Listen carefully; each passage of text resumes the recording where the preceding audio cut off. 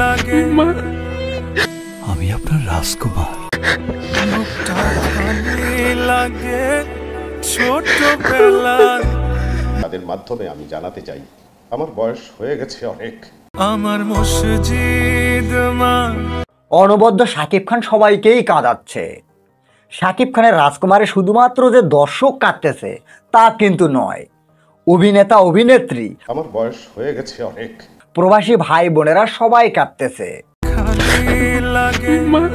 রাজকুমার ছবির হাইপ আরও বাড়তো, যদি আবহাওয়াটা হিট না হতো।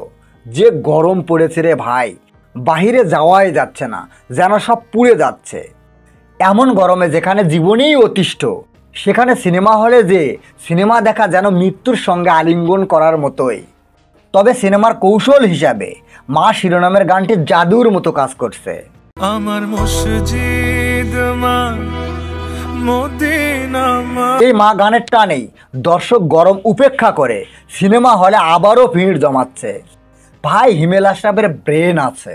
মা গানটি ঈদের আগেও বরবাদ আমি হব রাজকুমারের মতো রিলিজ দিতে পারতেন, কিন্তু দেননি।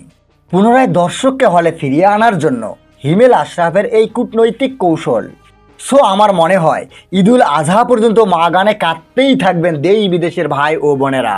চিন্তা করিও না আমি অলরেডি তুফানের জ্বর দেখতে পাচ্ছি সরাসরি।